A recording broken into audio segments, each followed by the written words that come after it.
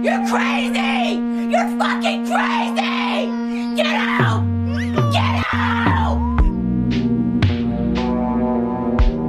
I did not like living in reality. Reality was forget about reality. I have to have a dream. I have to have a goal. I have to get up every morning and, and go after something. I didn't have a motherfucker come wake me up at 3 o'clock in the fucking morning and say, hey, you gotta get your shit in. I had no trainer. I didn't have a, a nutritionist. It was the self discipline that I had to survive, to not survive, I was weak, to, to, to, to, to thrive. No one said, hey man, you're 297 pounds, man.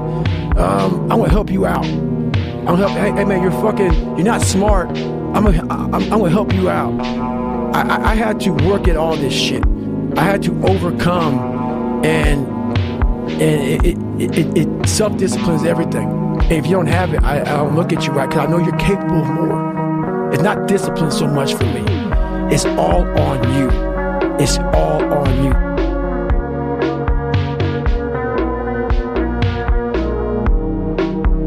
Every single man out here, if you're upset that your girl's leaving you, God is reminding you that you aren't worth shit.